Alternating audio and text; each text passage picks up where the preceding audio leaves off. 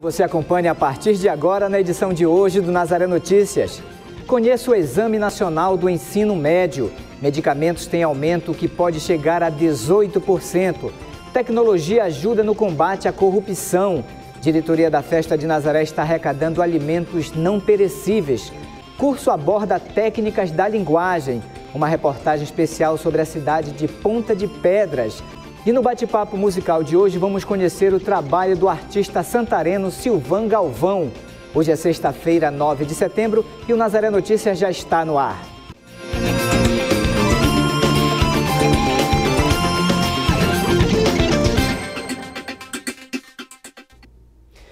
Começamos o Nazaré Notícias de hoje falando de educação.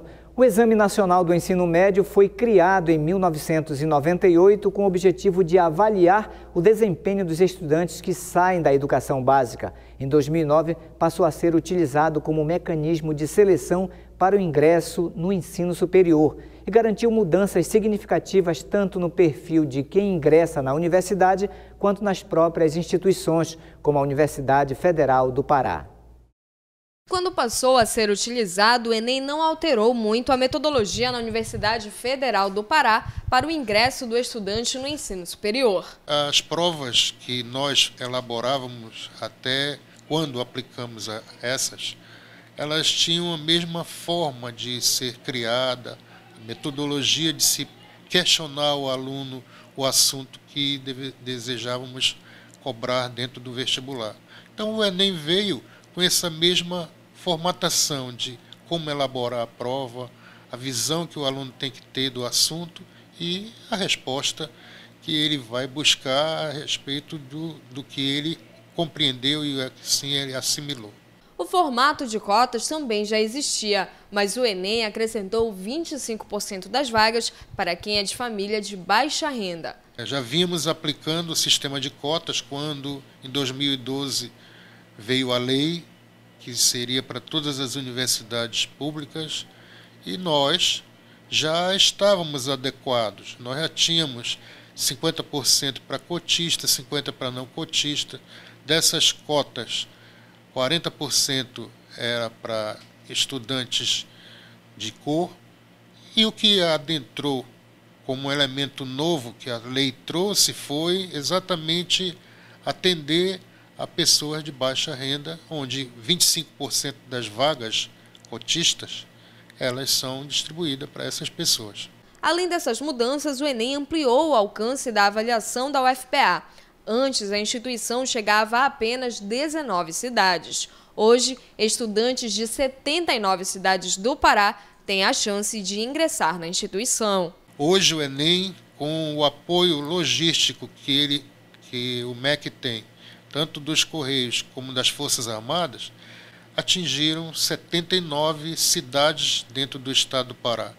Isto veio facilitar jovens que haviam encerrado ou estão encerrando o ensino médio e desejavam ingressar numa universidade. São 79 cidades dentro do estado que eles podem se inscrever, fazer a prova do Enem e posteriormente quando uma das universidades do estado abre o concurso, que agora as inscrições são todas online, as pessoas mesmo lá das suas residências podem se inscrever, concorrer e torcer pelo sucesso. É. Para a região norte, o Enem também aponta um diferencial, uma vez que a avaliação do ensino apresenta um percentual menor que nas demais regiões do país. Chegamos à conclusão que existe uma defasagem de aproximadamente 10% em relação à média nacional. Aí o que o CONCEP, Conselho Superior de Pesquisa, resolveu fazer? Criar uma, uma bonificação a todos os alunos que cursaram o, todo o ensino médio dentro do estado do Pará e dos demais estados da região norte. Ganham 10% de bônus, com isso a média chega a se equiparar com as demais dos outros estados.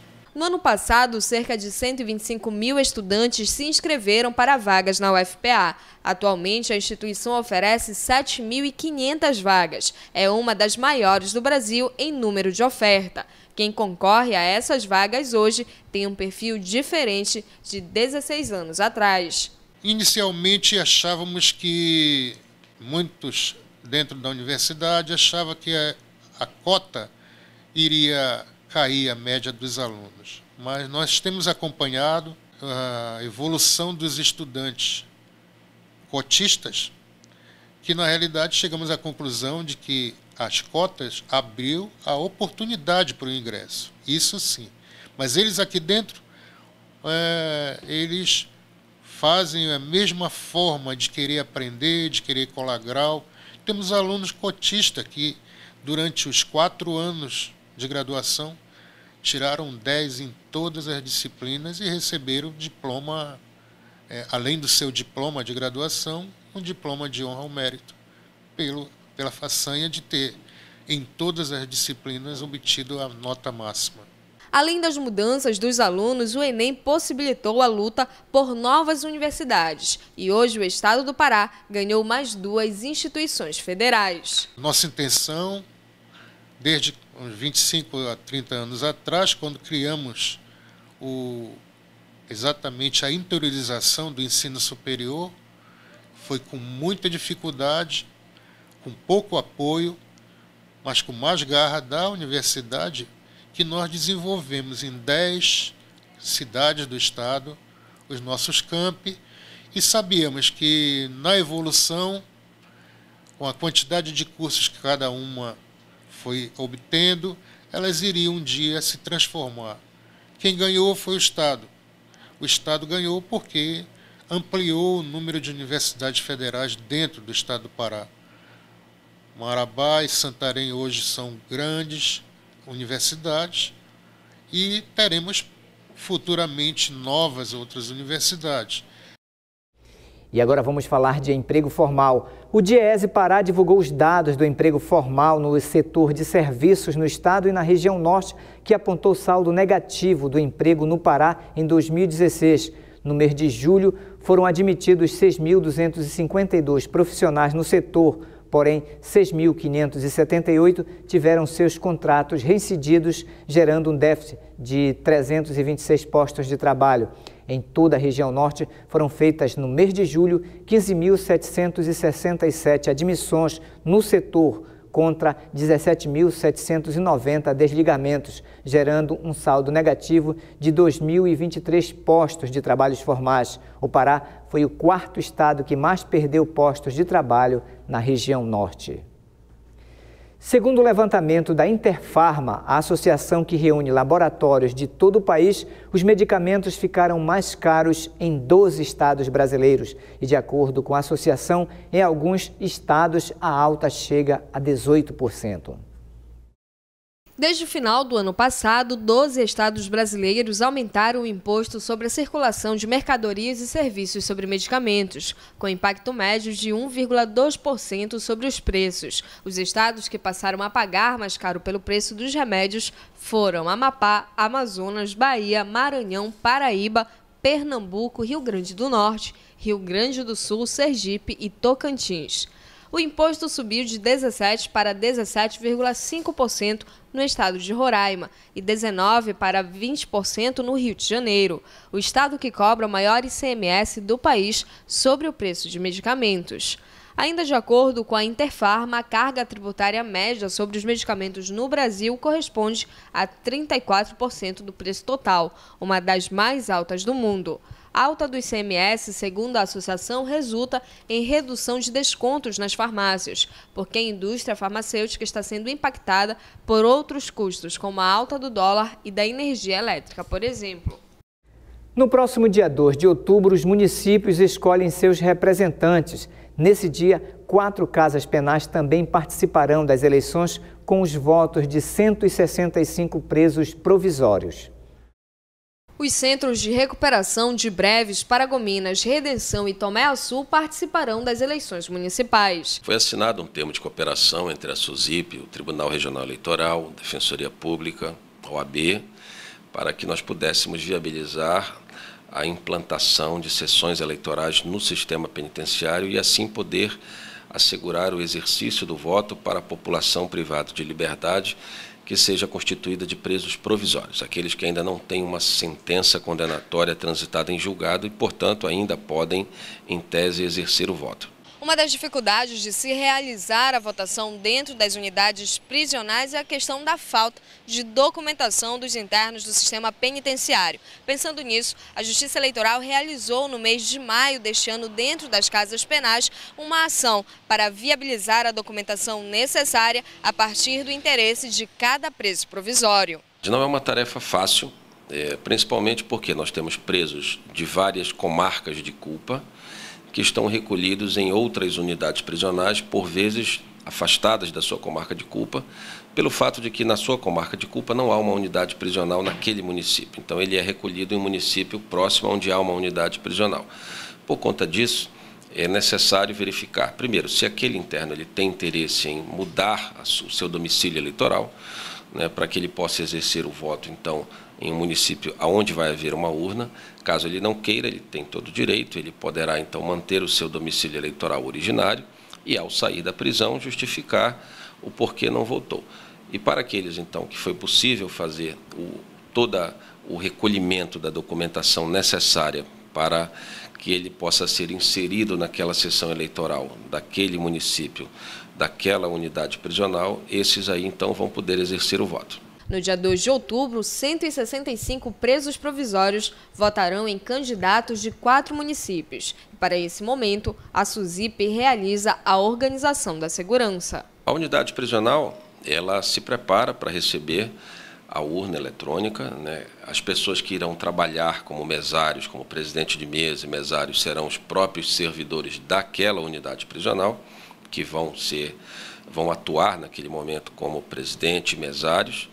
Ela é montada dentro de uma sala na área administrativa da unidade prisional e os internos que são cadastrados para votar, eles são retirados um a um, são levados até a sessão eleitoral para que ali possam exercer o seu direito ao voto. E a sessão eleitoral vai funcionar com toda a ambiência como qualquer sessão eleitoral aqui fora do universo prisional. Ah, inclusive nessas sessões eleitorais poderá haver também a presença de fiscais dos partidos, dos candidatos, de todos os partidos que concorrem ao certame eleitoral sem problema. Claro, desde que esses fiscais estejam devidamente cadastrados na Justiça Eleitoral nessa condição e passem pelo processo de controle de acesso para adentrar a unidade prisional, já que é um espaço de segurança. A Secretaria de Meio Ambiente e Sustentabilidade do Pará divulgou o boletim de monitoramento de queimadas e incêndios florestais no Pará. De acordo com o órgão, o estado obteve 242 focos de queimadas em 39 municípios nos dias 6 e 7 de setembro de 2016. E de acordo com o Sistema de Queimadas e Incêndios do Instituto Nacional de Pesquisas Espaciais, as regiões Sudeste, Nordeste e Marajó estão classificadas como alto a crítico para riscos de incêndio.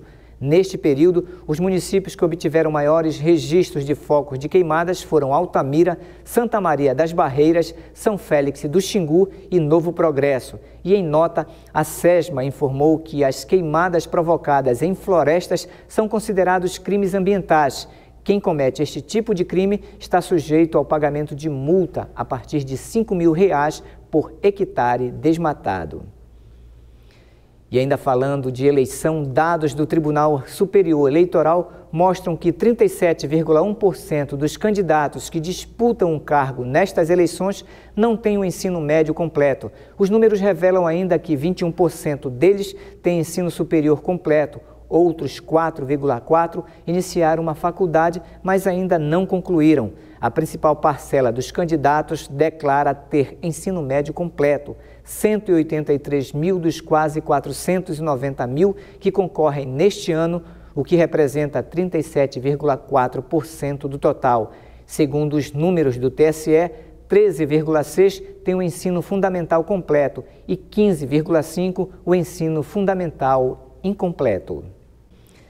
A greve dos bancários entra no quarto dia e mais de 7 mil agências estão fechadas no país. A reivindicação da categoria é que haja reposição da inflação no valor do salário recebido, mais 5% de aumento real. A proposta de reajuste salarial feita pela Federação Nacional dos Bancos no começo da semana foi rejeitada, porém ainda há possibilidade de negociação para o fim da greve.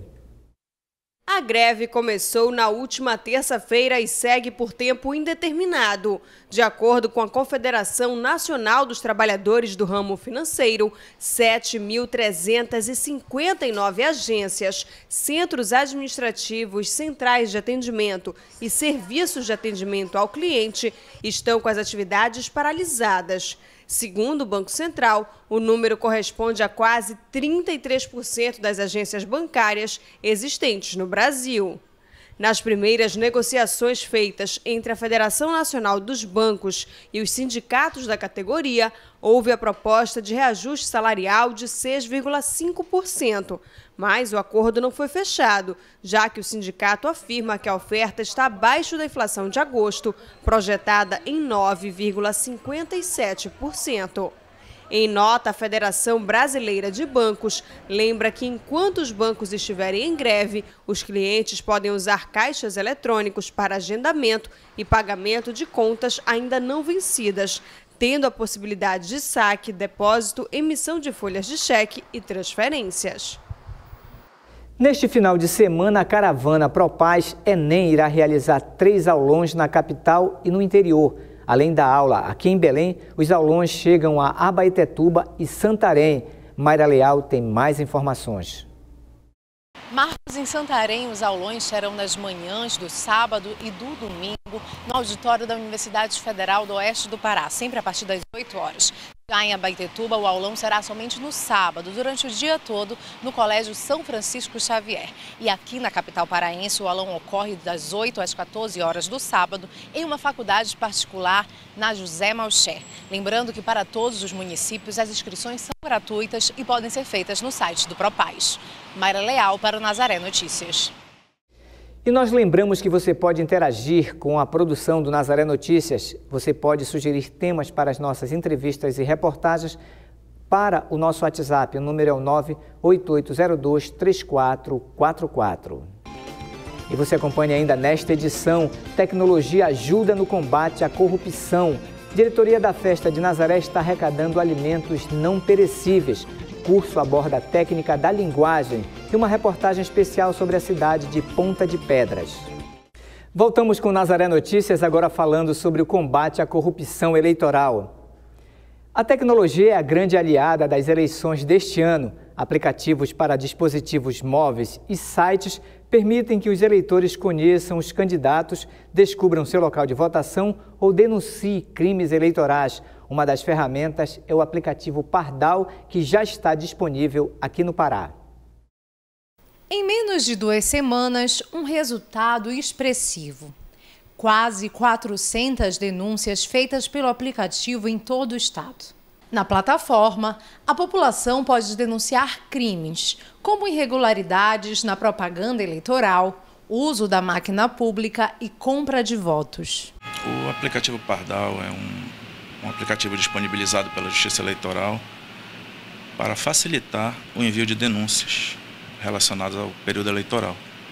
O Tribunal Regional do Pará conta com uma equipe de voluntários que faz a triagem das denúncias recebidas para depois encaminhá-las à Justiça Eleitoral. Como em anos anteriores, o TRE conta com a parceria da CNBB. Então, uma equipe da CNBB atua no recebimento das denúncias pelos pelos vários meios com que essa denúncia pode chegar. Ao registrar uma denúncia, ela, ela fica na base de dados do sistema e passa primeiramente por essa equipe de voluntários da CNBB, que está atuando em parceria com o TRE. Essa equipe vai fazer então uma triagem inicial, onde ela vai identificar, né, por exemplo, ela vai eliminar as denúncias que sejam identificadas como, como trotes ou que não sejam sérias, e aquelas denúncias realmente válidas identificadas por essa equipe são encaminhadas ao tribunal para os cartórios eleitorais. A plataforma está disponível em formato de aplicativo para os sistemas Android e iOS e também pode ser acessada pelo site do Tribunal Eleitoral do Estado. Nela, o usuário tem também a possibilidade de fazer uma denúncia sigilosa. A pessoa precisa registrar os seus dados, mas ela tem a opção de marcar e que esses dados fiquem anônimos e os dados vão ser preservados. Desde que já entrou em vigor, a plataforma já recebeu denúncias da capital paraense e de nove municípios do estado. Pelos números que a gente tem da, das origens em que essas denúncias chegam, a gente já percebe, como era de se esperar, que o aplicativo é a, é a principal fonte, né? a principal, principal origem das denúncias está sendo feita através do aplicativo para dispositivos móveis, com, digamos assim, com mais de 90%. A gente tem também o meio do, do 0800, né, o telefone, e tem também o, o, o acesso direto no site do TRE. Mas a gente já percebe como é a tendência atual, que é realmente pelo uso de dispositivos móveis, né, que traz essa facilidade maior de acesso fácil para a maioria das pessoas. E vamos voltar a falar sobre educação. O Instituto Nacional de Estudos e Pesquisas Educacionais, Anísio Teixeira, divulgou os dados do Índice de Desenvolvimento da Educação Básica, que avalia o desempenho dos alunos da educação básica e ensino médio referentes ao ano de 2015. E segundo o levantamento, o estado do Pará teve o um índice médio de 4,5, quatro décimos acima da projeção feita para o ano de 2015, que tinha como meta a nota média de 4,1. E ainda segundo o INEP, as escolas particulares tiveram um desempenho melhor do que as públicas, com o IDEB médio de 6,1, enquanto os colégios públicos tiveram média de 4,3. O pior índice foi obtido pelas escolas estaduais, 4,2. Mesmo estando acima da projeção feita pelo INEP para o ano de 2015, a educação do Pará ainda está abaixo da média da região norte, que é de 4,7, e da média nacional, que é de 5,5. A diretoria da Festa de Nazaré, que além de organizar a festividade do Sírio, ajuda as obras sociais da paróquia de Nazaré, aqui em Belém, está arrecadando alimentos não perecíveis. Marcos, a Manhã dos Eleitos já é um evento tradicional. Todos os anos, um grupo diferente é escolhido para um momento de confraternização e evangelização. Neste ano, os eleitos são os moradores de rua e dependentes químicos atendidos pela comunidade Missão Belém. Então, quem quiser colaborar com o um projeto pode entregar os alimentos na sede da diretoria da festa, que fica lá no Centro Social de Nazaré, dentro do estacionamento da Basílica Santuário. As doações podem ser entregues até o dia 20 de setembro. Mayra Leal para o Nazaré Notícias. E ainda falando de Sírio de Nazaré, a diretoria da Festa de Nazaré vai disponibilizar, a partir de segunda-feira, dia 12 de setembro, os ingressos para as arquibancadas do Sírio, montadas na Avenida Presidente Vargas, em um dos principais trechos das romarias da Trasladação e do Sírio. Serão 5 mil lugares para o Sírio e 5 mil para a Trasladação. As vendas iniciam a partir das 10 horas da manhã no site showdebola.com.br. Neste ano, uma novidade: as gratuidades também terão cadastro via internet. E agora você acompanha a previsão do tempo para este final de semana na Amazônia.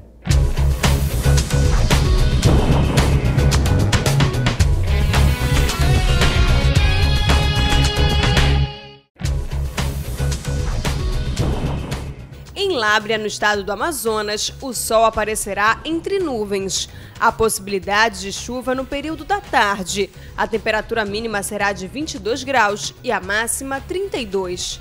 No município de Óbidos, no oeste do Pará, a previsão é de tempo encoberto, mas não a previsão de chuva. A temperatura mínima é de 24 e a máxima pode chegar a 34 graus.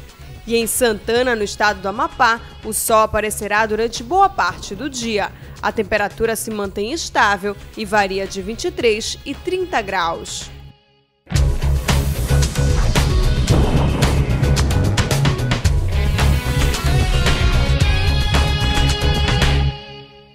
E agora vamos falar de saúde. 50 mil doses de nove vacinas foram disponibilizadas para os municípios do estado do Amapá durante a campanha nacional de multivacinação que terá início na próxima semana. A campanha nacional de multivacinação acontecerá entre os dias 19 e 30 de setembro em todas as unidades de saúde do país. No estado do Amapá, crianças e adolescentes com idades entre 0 e 4 anos e dos 9 aos 14 anos poderão ser vacinadas. De acordo com a Coordenadoria Estadual do Programa de Imunizações, serão disponibilizados nove tipos de vacinas que atuam na prevenção de infecções e doenças como HPV, tétano, pneumonia, coqueluche, meningite, poliomielite, febre amarela, cachumba, sarampo e rubéola. Segundo o órgão, o objetivo da campanha multivacional é disponibilizar todas as vacinas do calendário vacinal das crianças e dos adolescentes para que haja uma atualização das cadernetas de vacina. A Companhia dos Notáveis Klaus está promovendo a oficina Um Convite ao Direito de Errar. A iniciativa apresenta técnicas da linguagem clau para pessoas que tenham interesse no teatro de palhaços e ocorre na Casa das Artes. Divertir, alegrar, fazer soltar gargalhadas. Os palhaços têm o dom da felicidade e do riso. Uma vocação que a Companhia dos Notáveis Clowns conhece muito bem. Há 18 anos, eles transformam o cotidiano em alegria. A companhia tem 17 anos, na verdade agora a gente vai fazer a nossa maioridade, então a gente está completando 18 anos. E ela surgiu, enfim, há 18 anos atrás, com a ideia de quatro amigos em montar um espetáculo com um carro.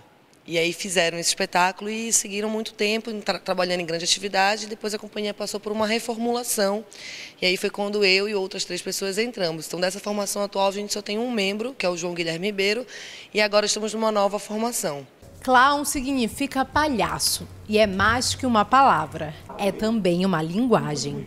A gente fala clown porque é o, é o conceito europeu do palhaço, né? É esse palhaço europeu. Só que a nossa brincadeira é exatamente ao contrário, que é a gente, nós somos a companhia dos notáveis clowns, mas os nossos palhaços são completamente brasileiros, porque eles bebem na brasilidade da essência do circo, onde percorre toda a trajetória do circo por onde roda, o circo familiar, que anda, que tem toda essa tradição brasileira de rodar pelo país com seus espetáculos, e a gente bebe exatamente nesse lugar, lá são nossas fontes.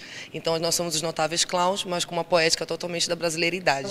Depois de circular pelo país, promovendo oficinas e realizando espetáculos, a companhia foi contemplada pela Bolsa de Difusão, Criação e Experimentação Artística da Fundação Cultural do Pará. Um projeto que inicia com a oficina Um Convite ao Direito de Errar.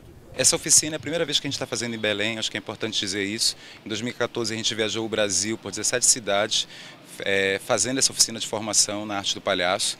É, o conteúdo, na verdade, dela é bem extenso, né? uma oficina longa que dura aí sete dias, mais ou menos, com cinco horas por dia de trabalho. Parte desde o histórico do Cláudio, do, do histórico do palhaço, é, até algumas atividades da própria formação, né? da, da forjação desse palhaço, né? como é que você é, consegue mergulhar neste interior, né? porque uma vez que o palhaço não é um personagem, mas digamos assim, é um, é um extrato de ti mesmo, né? então é um, esse mergulho para dentro, essas atividades elas vão te proporcionar isso. Fazer esse mergulho para que você descubra por si mesmo é, e coletivamente o que é o seu palhaço. Além de agregar os amantes da linguagem clown, a oficina tem um propósito maior. A composição do espetáculo Queijo com Goiabada uma mistura do clássico Romeu e Julieta com a cultura das aparelhagens paraenses. Essa oficina ela vem de uma iniciativa nossa de montar esse novo espetáculo, que é o queijo com goiabada, que já já todo mundo vai ter acesso a ele, vai estar aí prontinho. E como nós somos poucas pessoas, esse texto ele vai beber exatamente na poética do Shakespeare, lá no Romeu e Julieta, é por isso que é o queijo com goiabada. E a gente faz esse diálogo dos clássicos entre o clássico elisabetano, do Romeu e Julieta, e o nosso clássico paraense, que é o nosso Tecnobrega. Então, o nosso Romeu e Julieta está dentro de uma realidade Tecnobrega onde eles brigam. E por conta disso, a gente resolveu fazer a oficina, um convite ao direito de errar, onde a gente quer convocar elenco para esse nosso próximo espetáculo, certo? Para Rodolfo Sanches, o palhaço bolonhesa, a oficina é uma oportunidade de compartilhamento e aprendizado. A oficina ela é voltada, né, pelo menos na divulgação, assim, pelo que eu li, ela é voltada específico para é, pessoas que já têm iniciação na linguagem do palhaço. Né? Então, acho que isso é uma, uma é, formação continuada para os atores da cidade, né, ter esse tipo de oficina. Então, quer dizer, não é uma iniciação, já é um trabalho voltado para atores palhaços na cidade. Para outros, uma chance de descobrir um novo talento. Seu Eurico Fernando já se transformou no palhaço Seu Flores, na hora de levar alegria para crianças enfermas. Um trabalho voluntário que o fez abrir os olhos para a alegria da palhaçada. O que me levou, a que me trouxe aqui, é dar uma olhada nesse universo clown, né? Que eu não, não tenho assim muita coisa. Já vivi um clown uma vez e eu recebi, quer dizer, percebi a, a interação muito boa. Ele e mais 16 pessoas aceitaram o convite dos notáveis clowns ao direito de errar e também ao de fazer o outro feliz. E queria ver o que é que tem mais nesse mundo clown, para ver o que é que eu, na minha energia, posso contribuir para melhoria um pouquinho do nosso mundo, um pouco de alegria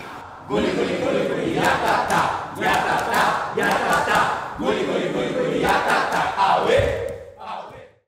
E você pode enviar vídeos para exibirmos aqui no Nazaré Notícias. Faça vídeos de no máximo 30 segundos mostrando sua devoção a Nossa Senhora de Nazaré ou com mensagens para seus familiares e nós exibiremos aqui no Nazaré Notícias. Envie para o nosso WhatsApp, o número é o 98802 3444.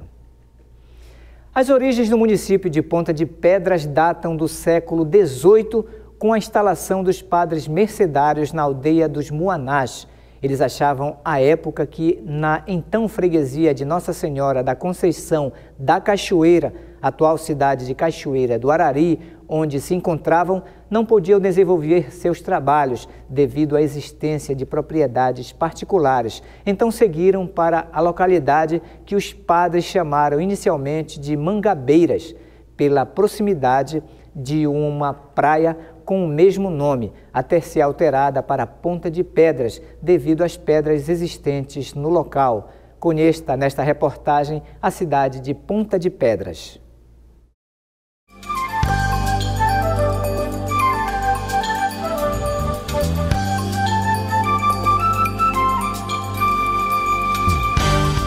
Cenário das obras chove nos campos de Cachoeira, em Marajó, de Dalcídio Jurandir.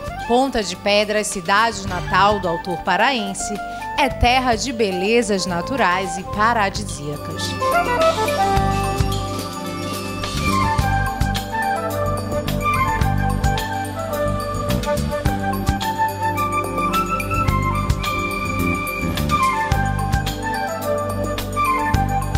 Às margens do rio Pará, na ilha do Marajó, o município tem cerca de 30 mil habitantes e um povo alegre e festivo.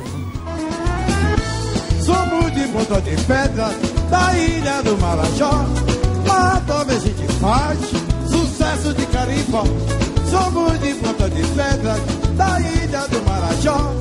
Lá também a gente faz sucesso de carimbó. É carimbó é carimbó.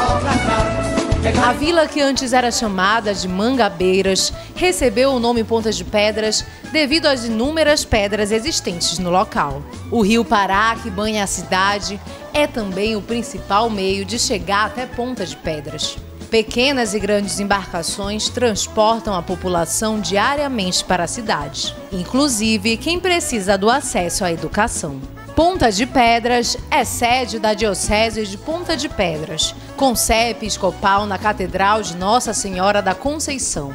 A Diocese reúne seis paróquias e várias comunidades, integrando cidades vizinhas como Cachoeira do Arari, Muaná, Curralinho e São Sebastião da Boa Vista.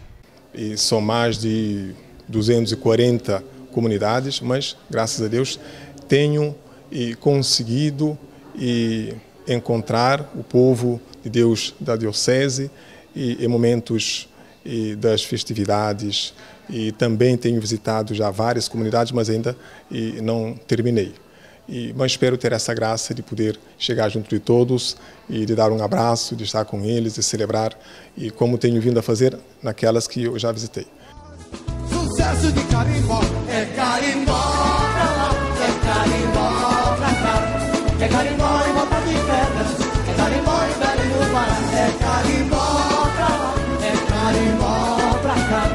É carimbó em Boca de Pedras, é carimbó em Belém do Pará.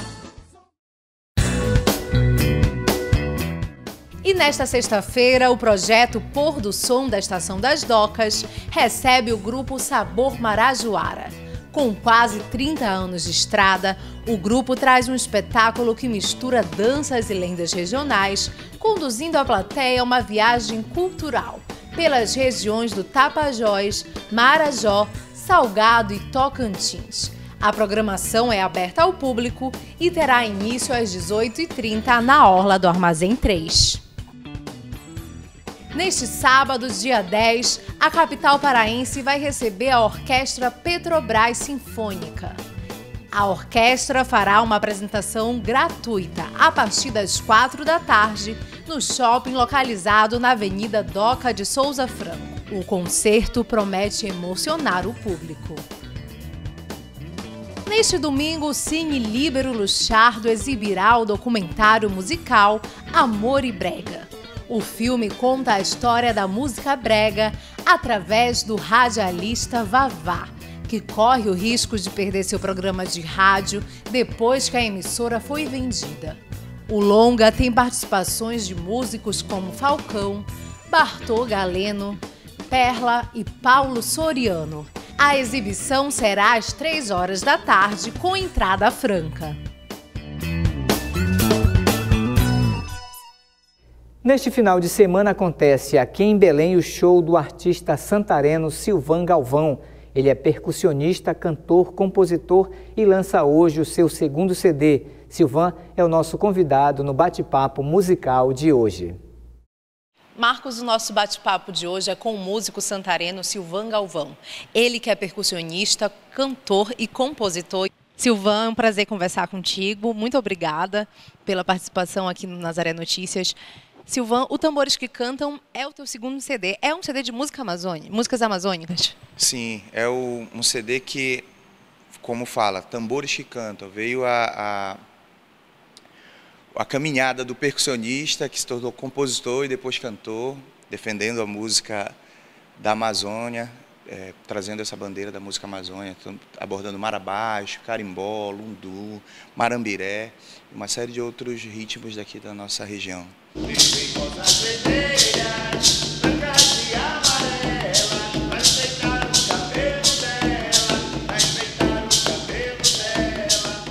Pensar na música pronta, eu sempre pensava nesses artistas que sempre me influenciaram muito.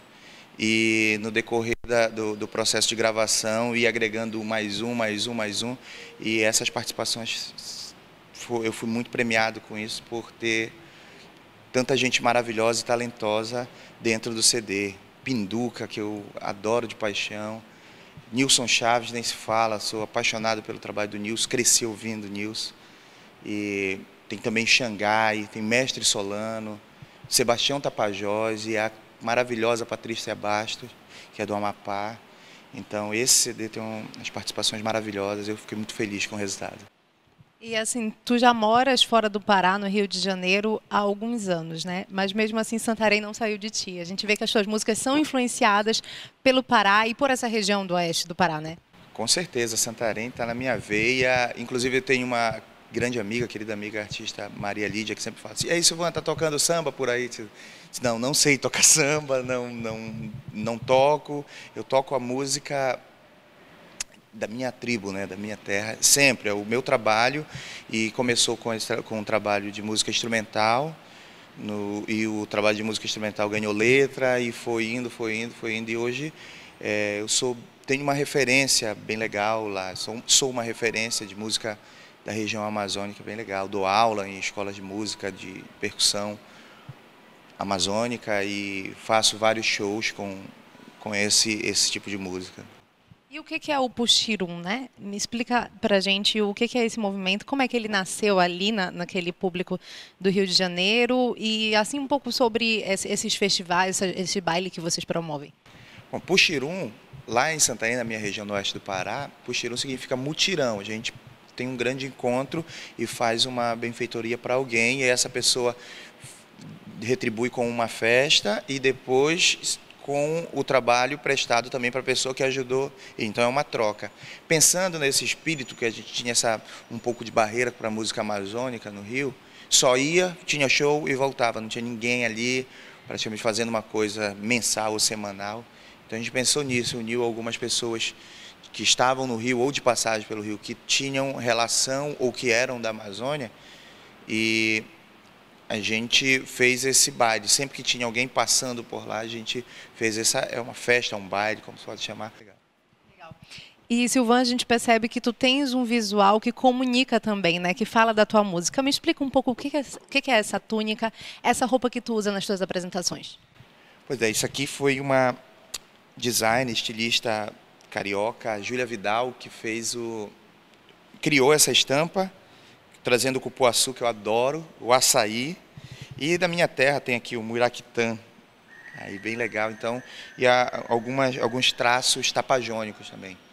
E a Júlia, uma querida amiga, sempre está no show também, dança, que é uma beleza carimbó, sempre está indo lá e ela disse, vamos fazer alguma coisa para o teu figurino que tenha, que traga um pouco da tua terra, que tu traz tanto a tua a tua terra na tua música, no teu, teu conversar, no tudo, e vamos colocar também agora no teu, teu vestir, na, na tua roupa, no teu vestir. Tá certo, Silva. Muito obrigada mais uma vez por conversar conosco. E fica aí o convite para conhecer um pouco mais sobre esse trabalho tão bonito que tem influência da música paraense, da música amazônica e que está levando essa música para outros lugares, né? além daqui do estado do Pará. O Nazaré Notícias fica por aqui. Fique com um pouco mais do som do Silvan Galvão e até segunda-feira.